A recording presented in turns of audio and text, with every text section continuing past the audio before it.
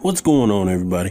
I'm the goods on YouTube and TG So Good on all other platforms. So follow me on Twitter at Twitter handle TG So Good, all one word. All right, so today let's jump into Looyh NBA 2K21 tools. The tool itself is called Tools.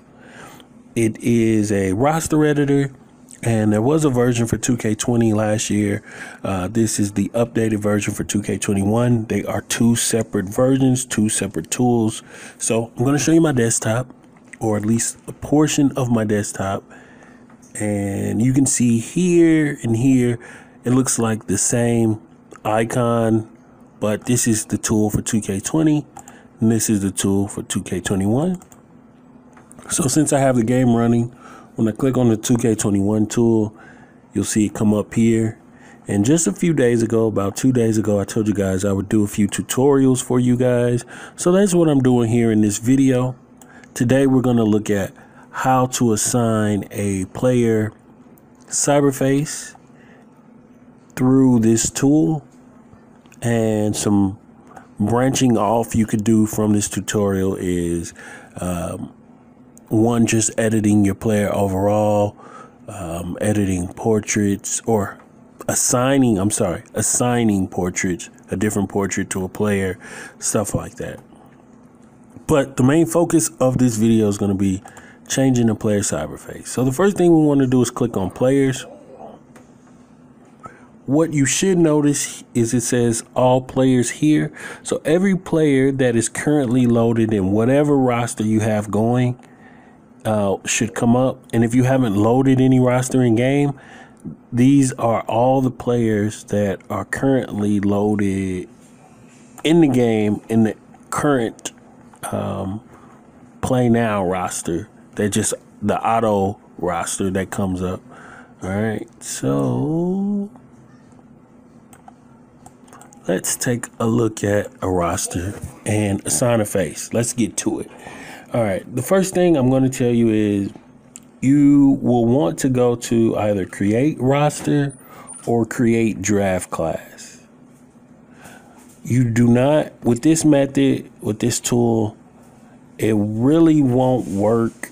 Um, there may be a way to do it, but I don't really suggest trying to go to create a player and assign a cyberface or go to player DNA and assign a cyberface in fact, I can't even tell you how to do that with this tool, with this particular tool. But what I can tell you is if you have a creative player already created, uh, just assign it to a roster. So what we're going to do is we're going to go to create roster. We're going to go to just NBA. And when it loads up, All right, so when it starts with Philadelphia 76ers, have I pressed my left bumper button two times? One, two. It takes me to all my created players and all my player DNA, which then, so like if I want this one, this is a testing player, so I can just uh, copy it to a team or copy it to free agency and then work on assigning a cyberface from there and instead of doing it from the creative player menu. All right. All right. So let's go ahead and copy this one to free agency before I do that. Well, no, I'll just go ahead and do it. All right. So if I press my left bumper again, it takes me to all the free agents. So now I just need to find it. There it is. All right. So this one is a Jackson Ellis cyberface. And as you can see, the name of the player is Testing TG So Good. So now we get into the good part of the video. Let's go to the tool. What I want to do is click refresh because I, I started the tool before uh, before loading this roster. Now search for that player. There it is. So it doesn't have a portrait here because he doesn't have a real portrait in game. So that's fine. So when I click it, it tells me a few details. All right. So anyway, it tells you the face ID, which is that cyberface 2747. it tells you the portrait ID is zero, which means he's not using the portrait. So let's click on edit player. And the reason I'm going so in depth is because this might be new for a lot of people. Uh, there's a few people that just bought the game on PC for the first time this year. All right, so when we click on edit player, these are the vitals. There are many categories you can choose to update. That's the great thing about this tool. We can even stretch this out and there are more categories. I believe you can scroll too. So right here, you can scroll over. You can still edit his contract, badges, stats.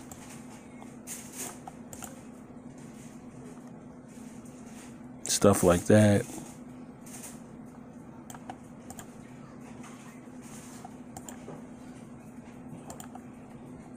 All right, so what I'm gonna do is gonna go back to vitals. We'll look at that other stuff in other videos. Face ID says 2747. I'm gonna change it to um, one that I know. If you don't know the Face IDs, um, there are there are different ways to find out a Face ID. Um, I believe, hold on, let me see if I can find something for you guys real quick before we change his face. There's actually a, there's a tool uh, by G313. I don't know if it's updated though.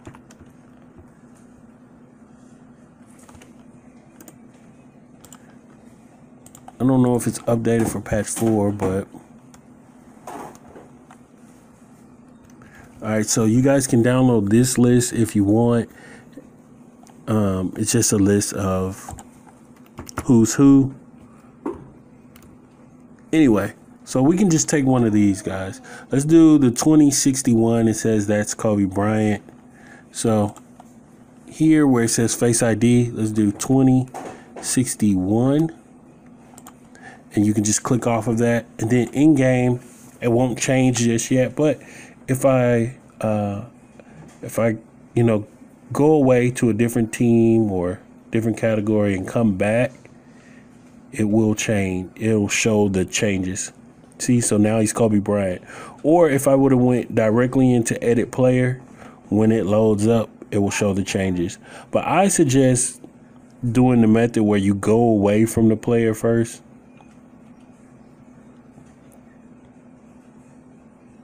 All right. So anyway, it shows the changes. So let's change somebody else's uh, cyber face.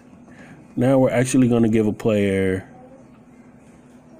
Um, let's see. I need a player without a portrait. Okay, Ivan Rabb. We're going to assign Ivan Rabb Jackson Ellis's cyber face. So right now this is Ivan Rabb's cyber face. What we're going to do is find Ivan Rabb by typing his name in There he is. So now you can see there's two Ivan Rabbs. I don't know what the difference is. One says number 44. All right, so I don't know what the difference is. Let's see, is there a free agency? All right, so when I click here, I went from all players to free agency. And when I do that, then it just shows the Ivan Rabb that's in free agency. And let's click edit player. I actually still have this other player up, so let me remove that. All right, so now we're just looking at Ivan Rabb. This is his face ID. Currently, we're going to change that to 2747, I believe. And let's go away from this team. Now we're on Washington all-time team then go back to free agents. All right, and it shows his face has changed to Jackson Ellis. So that's how you can do it. Now, I want to make it clear that if you go into edit player, let's go into edit player. I can't remember what Ivan's rap, what was Ivan Rabb's face? His face ID. Let's get out of free agency, go back to all players. So his face ID is 7533. Okay. So this is the version that we're editing. Seven. All right. So this is Ivan Rabb in game, but it's not his face. All right. So I can't. What I can't do is change his face here. What is supposed to be again? Seven something three three. 7533. Okay. So this is the Ivan Rabb that I changed. And I'm to try to change it back. 7533. Let's see if it changes in game, which I don't think it will. No, it won't change while I'm in this menu. So, but when I back out, as long as, if I back out, I don't, I want to remove my changes that I made in Edit Player. And then in the actual menus, his face is changed to back. Okay, so make sure you change his face before you go in the edit player, and then go away from the team, come back to the team, and make sure the faces change. Now let's look at a player that has. So I've I've shown you so far. I've shown you a few things how to assign a cyberface to a created player, which was this one, this one was a created player. I assigned Kobe Bryant cyberface to it. All I had to do was just add the created player to my roster, and then I was able to do it through the tool. I've shown you how to change the cyberface of a real player that doesn't have a portrait, like Ivan Rabb. I changed him to Jackson Ellis, then changed him back. And now finally, I'm going to show you how to change the cyberface of a player that does have a portrait. Um, and if you want to remove his portrait, all right. So this is DeMarcus Cousins, of course. So when we go to edit player, we're going to see that okay, it is the DeMarcus Cousins. It's who it should be. All right. So let's go into the tool. Let's go to free agency and let's look up DeMarcus Cousins.